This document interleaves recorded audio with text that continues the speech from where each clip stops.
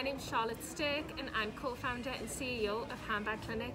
So Handbag Clinic came from um, our sister company Furniture Clinic where there was a lot of requests for handbags to be restored and then from there we grew into the resale and the restoration services that we offer today. When the business first launched, it was launched as restoration solely and we did that for around three years.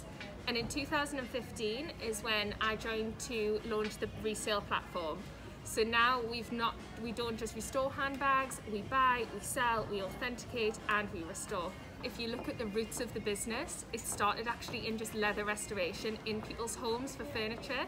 So we have experience and expertise in leather restoration going back for over 15 years.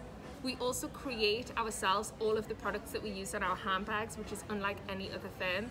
So every cleaning product, every pigment is something that we've bespoke created because we know what that leather needs. Our research and development team are always working on the newest ways and the best ways to restore handbags. With Fenwick, um, we obviously similarly have um, roots in Newcastle, which was a great start. It means we can be very close to the brand and make sure that everything goes absolutely perfect. They have that lifelong dedication to luxury. They've been going for so many years and, and they are kind of one of the original um, department stores that have pushed luxury and uh, we just think it's a perfect match.